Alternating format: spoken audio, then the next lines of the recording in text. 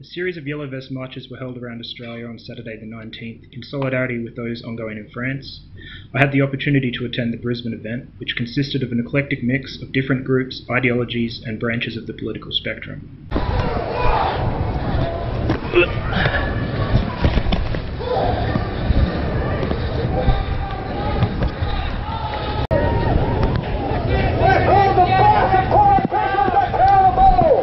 Have a look at what's going on in South Africa at the moment.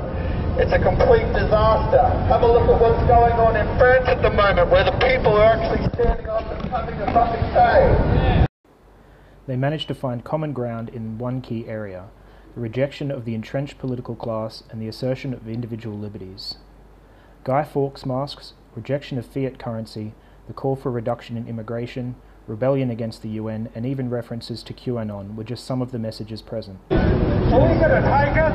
No! Are we going to take it? No! Well, that has given them a free ride. Don't let them have a free ride anymore. Bring the Where's all the money? One percent had all the money. That's where all the money is.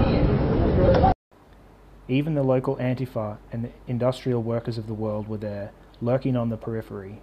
Could this metastasize into an effective Australian movement, or is it just a temporary flash in the pan and a Gilets Jaunes cosplay?